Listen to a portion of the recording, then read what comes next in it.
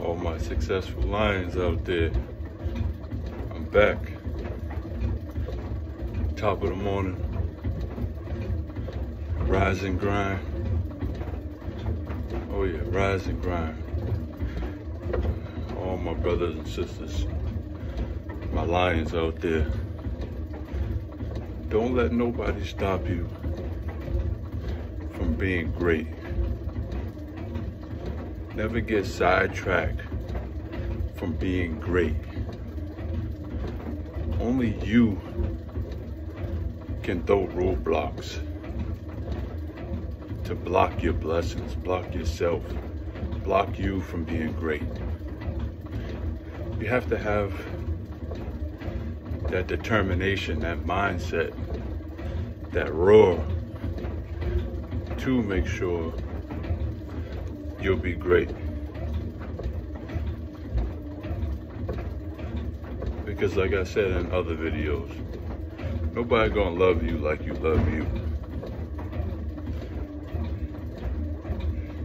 And that might mean selfishness at times.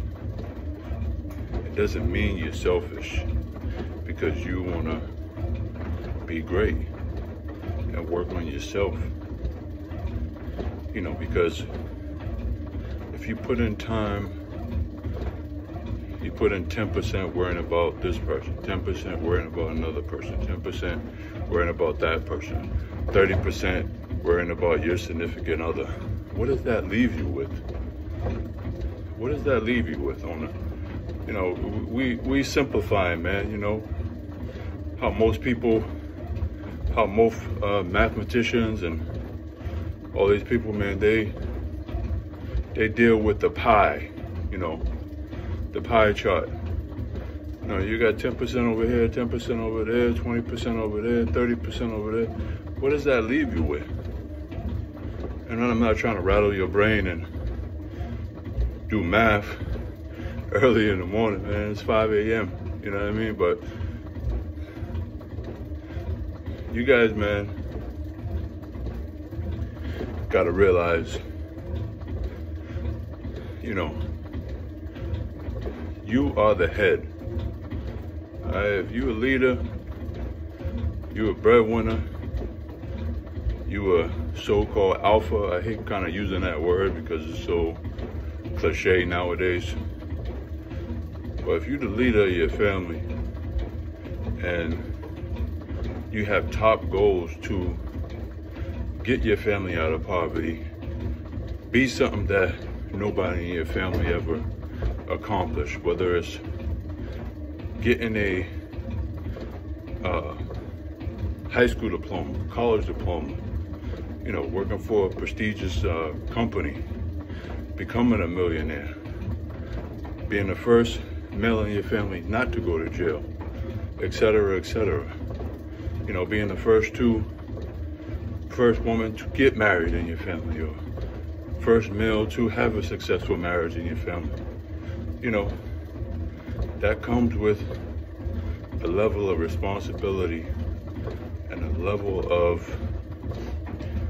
wittiness and discipline to achieve that certain goal. So keep going. You know, I'm not saying don't care about other people. But you gotta put yourself first, man. You wanna be great.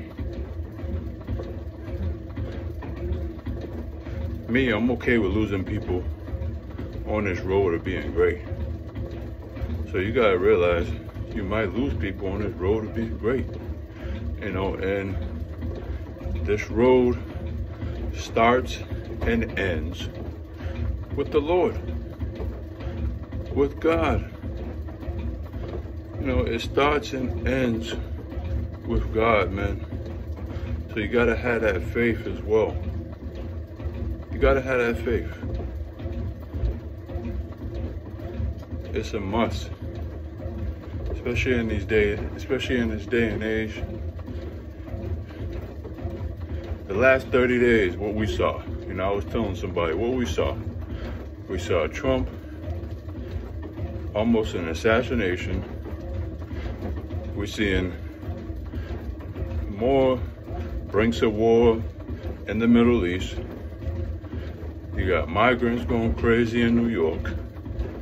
You got, you know, uh, over 100 people getting shot in Chicago.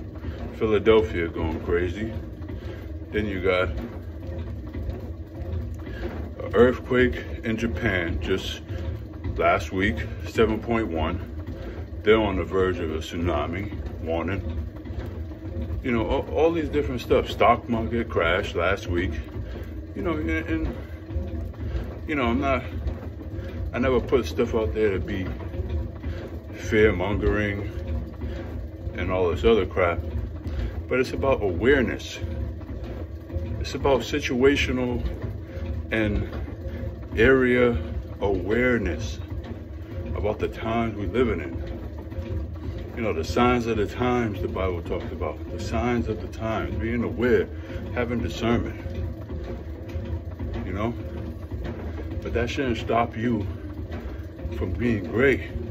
But it's about appreciating this time we do have to be great. You know, to that casket drop, man, be great. Be great. Be great, man. So all my successful lions out there, man, just a little morning motivation.